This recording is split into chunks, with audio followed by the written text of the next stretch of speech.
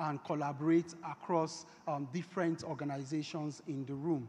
Organizations um, showed their interest in partnering in dry season farming, agricultural input supplies, and agrofinancing.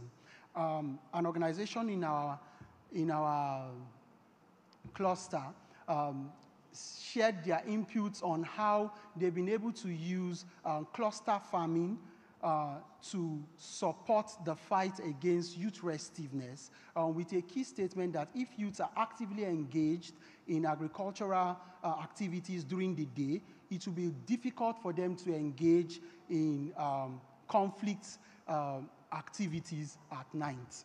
So we had a key word that if you, if you engage them in the daytime, they will not have the time to engage you at night. So one of the innovations that we actually looked around was soilless farming, vertical farming and soilless farming. And um, one of the organizations among um, the team we worked with spoke about how they've been able to provide trainings in um, hydroponics, aeroponics, and other form of soilless farming to youths across um, the southwest of Nigeria and looking to scale to the northeast, the north central, and the northwest in Nigeria. And of course, the provision of renewable energy, training on renewable energy in agriculture. Um, that is one of the innovations we, we got. And then um, another organization is planning, committed to plan to start training young persons in agricultural business, in agribusiness from primary schools to secondary schools to take the message down to those schools so that when it becomes interesting to, um, to young persons that agriculture is yielding the result it should yield, they will grow up into becoming very remarkable farmers. A strong commitment that came out from um, notably the CHC Agritech Africa is that they will be training, they will try, they will try to train um, farmers to transition from conventional agriculture into the use of probiotics um, in agriculture to enable the yield increase. And to do this, they will need a lot of partnership. Um, one, another striking thing from our session is that though there is a, a huge funding gap for agribusinesses across the country, but with collaboration and the will for people to collaborate, this gap can be closed. Not necessarily by the provision of funds or money, but by the provision of information. Information is power, and information is key for agribusiness to survive, for food insecurity to be tackled, and for conflict to be tackled. There, there needs to be a free flow of information at, as at when due. Thank you.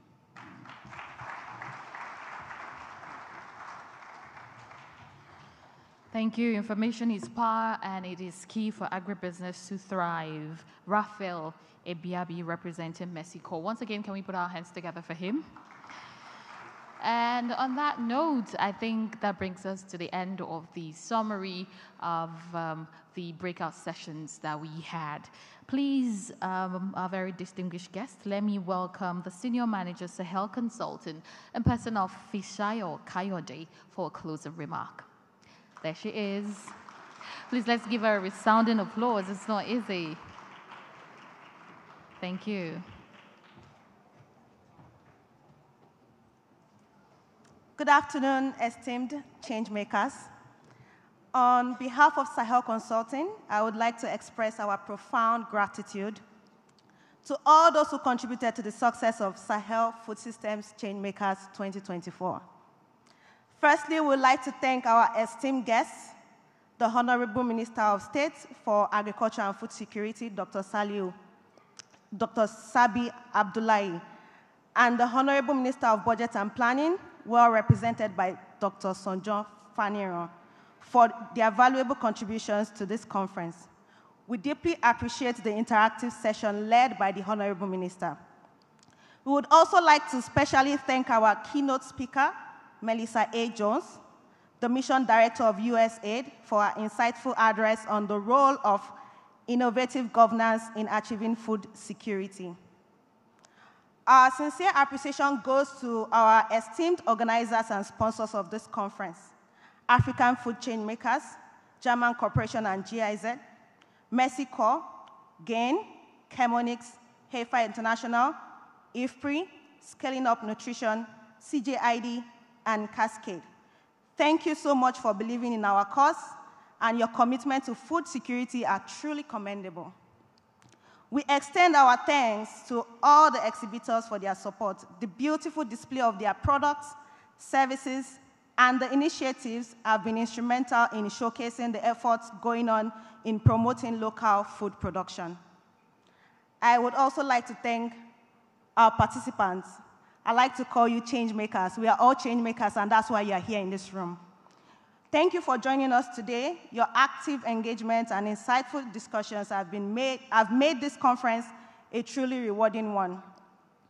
Finally, to all staff at Sahel Consulting and AFC, and our esteemed board members, thank you for your hard work and enthusiasm.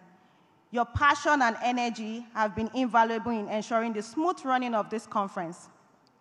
We are confident that the Sahel Food Changemakers Conference 2024 has provided, provided a valuable platform for exchanging ideas, showcasing innovation, and fostering partnerships towards the building of resilient and sustainable food systems in Nigeria. The work doesn't end in this room, and I implore you all to roll up our sleeves so that we can swing to action afterwards. God bless you all. God bless Nigeria. See you at Sahel Changemakers Conference 2025.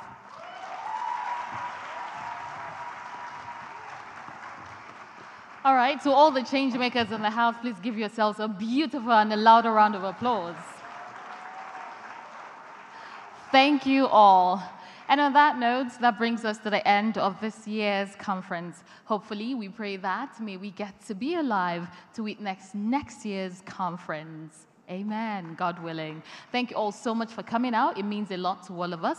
Please kindly line up in two lines. The ushers will direct you. Meal tickets will be given to everybody. Please enjoy your lunch before you leave. My name is Zuleyhat Belagobir, and I've been your host. Thank you for having me. And to my amazing sign language interpreters, I'd say well done. Do, do have a good night.